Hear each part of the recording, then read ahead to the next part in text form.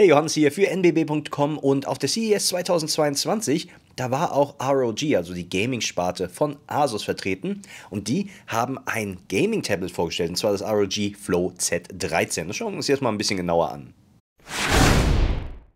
Also wenn man sich das Design anschaut, dann sieht man schon, okay, das ist wirklich Gaming. Also CNC gefrästes Metallgehäuse, Schönes Gaming-Design, also ganz ROG-typisch und natürlich darf auch nicht auf RGB verzichtet werden. So gibt es auf der Rückseite ein kleines Sichtfenster, da kann man die RGB-beleuchtete Hardware sehen. Also braucht keiner natürlich, aber es sieht einfach geil aus. Das Tablet hat ein 13 Zoll Display, es wird zwei Varianten geben, also einmal mit 4K 60 Hertz und dann nochmal mit Full HD 120 Hertz. Die sind dann beide jeweils 16 zu 10 und werden durch Gorilla Glass 5 geschützt.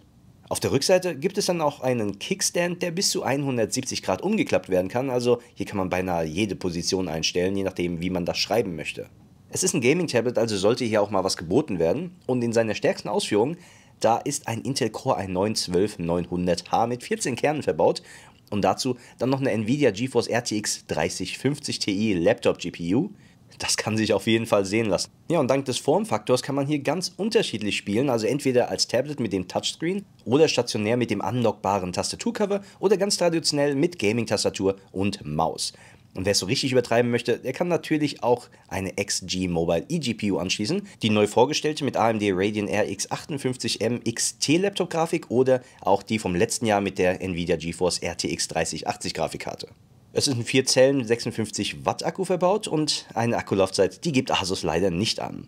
Es steht WLAN 6E und Bluetooth 5.2 für die Konnektivität bereit, außerdem auch noch ein Fingerabdrucksensor. Und auf der Vorderseite haben wir eine 27p Webcam und auf der Rückseite eine 8 Megapixel Kamera. Für ein Tablet hat es eigentlich auch recht viele Anschlüsse. Wir haben hier einen Audioport, ein ROG XG Mobile Interface, ein USB 2.0 Type A, ein USB 3.2 Gen 2 Type C und Thunderbolt 4, außerdem auch noch ein MicroSD-Kartenleser. Das ROG Flow Z13 wird ab dem ersten Quartal 2022 ab 1899 Euro in Deutschland verfügbar sein. Und das war mein erstes Hands-on vom ROG Flow Z13. Vielen Dank fürs Zuschauen.